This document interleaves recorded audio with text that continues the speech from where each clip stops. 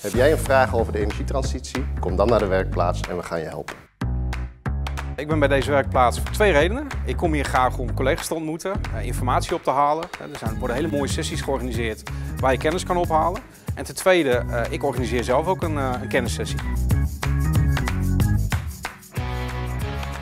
Wat ik nu probeer te doen is me nog even ergens in te lezen en misschien zelfs een teamsvergadering meemaken. En zo straks vind ik het leuk om op mijn eigen tijd, wanneer het mij uitkomt, een werksessie mee te maken met ja, wat inhoudelijke kennis te vergaren. Werksessies zijn er over verschillende thema's in de energietransitie. Het kan gaan over opwek, het gaat over de gebouwde omgeving, energiebesparing, het gaat over energieinfrastructuur. Kortom, alles wat je in de energietransitie nodig hebt om eh, de doelstellingen te bereiken in 2030 en 2050.